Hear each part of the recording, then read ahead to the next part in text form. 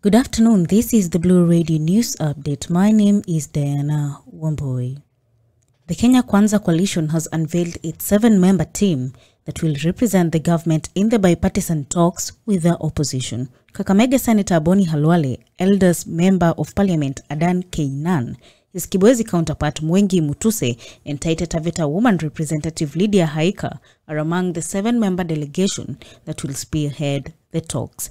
Azimio la Umoja One Kenya Coalition unveiled its seven member team on Thursday, April 6th, during a parliamentary group meeting in Machakos. The talks were proposed by President William Ruto when he urged Azimio leader Raila Odinga to call off the anti government protests.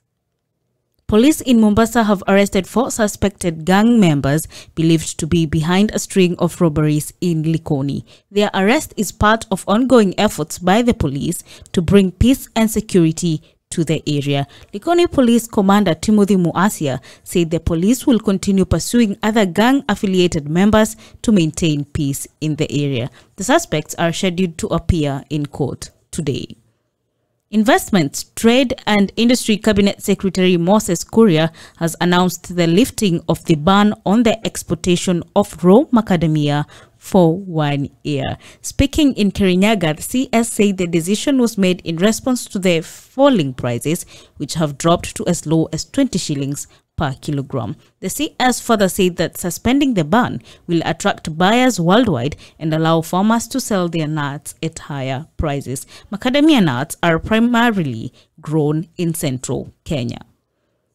The highly anticipated launch of the Taifa 1 satellite has been postponed by 24 hours due to poor weather conditions. SpaceX, a US based company that manufactures and launches the world's most advanced rockets and spacecraft, announced a delay in the lift of the Falcon 9 rocket, which will be transporting Taifa 1 alongside other satellites to the orbit. The Ministry of Defense and the Kenya Space Agency released a statement in the morning citing unfavorable upper level wind conditions that would have affected the rocket's flight trajectory as the reason for the delay. That's the news update. My name is Diana Wambui.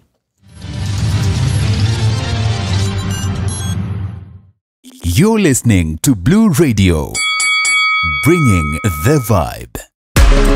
Playing you the best of East Africa.